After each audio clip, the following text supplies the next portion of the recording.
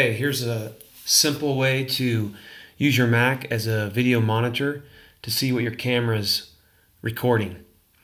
So if a little screen on your video camera is too small, you want something bigger, all you got to do is connect it to your Mac.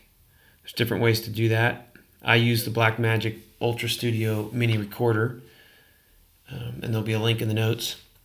But once you, you connect the camera to the Mac, and then you're like, okay, how do I see what my camera's doing? All you got to do is launch QuickTime Player, then go to File, New Movie Recording, and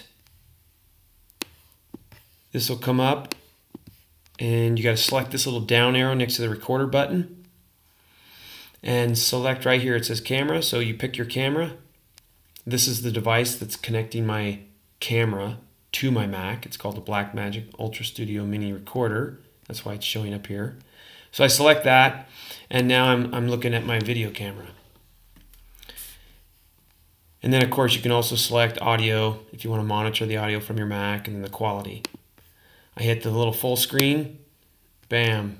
There I am. I've got my 13-inch MacBook Air screen instead of the little 3-inch screen, if it's that big on my video camera. There you go. An easy way to see what your camera's doing and focus and all that stuff.